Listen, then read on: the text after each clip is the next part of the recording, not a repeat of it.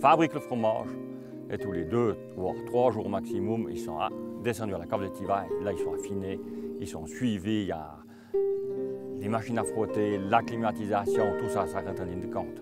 Parce que c'est un autre métier, l'affinage, c'est un autre métier.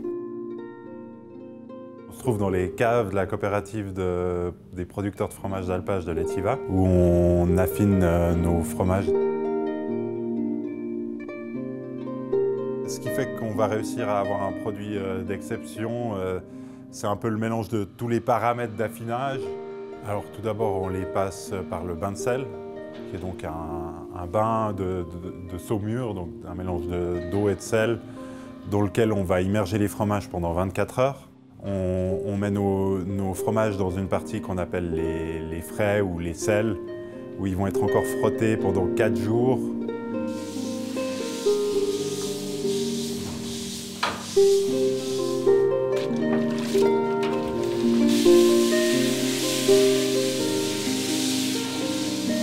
Donc à ce stade-là, on commence à les faire sécher et c'est à ce moment-là que la, croûte, la morge, va commencer à se former.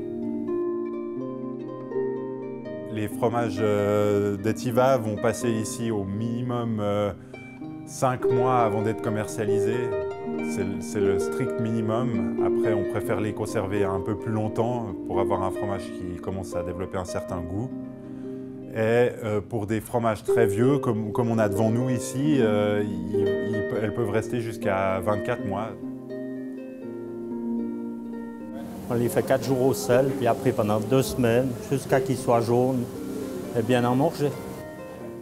Ici, le 19, c'est le numéro du producteur et le numéro de la pièce, le 80e fromage fabriqué.